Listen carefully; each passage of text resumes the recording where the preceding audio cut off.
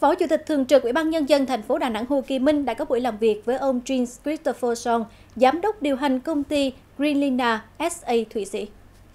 Ông Jim Christopher cho biết mục đích của ông đến Đà Nẵng lần này là mong muốn đầu tư xây dựng một dự nhà máy xử lý rác thải tại Đà Nẵng, tương tự như đã xây dựng ở Thụy Sĩ. Theo đó sẽ thu gom tất cả rác thải nhựa của thành phố để tái chế sử dụng, để biến nó trở thành năng lượng.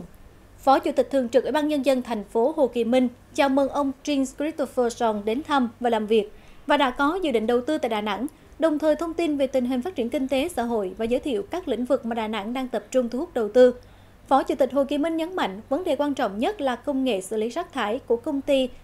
Greenilla SA Thụy Sĩ phải đáp ứng được các yêu cầu về chất lượng, tiêu chí, tiêu chuẩn Việt Nam, đồng thời chỉ đạo Ban Quản lý Khu Công nghệ Cao có buổi làm việc cụ thể hơn với nhà đầu tư về dự án. Được biết thành lập vào năm 2017, công ty Greenlina SA tập trung vào các lĩnh vực phát triển nghiên cứu sản xuất và phân phối nhà máy nhiệt phân và nhà máy lọc dầu xử lý tái chế chất thải.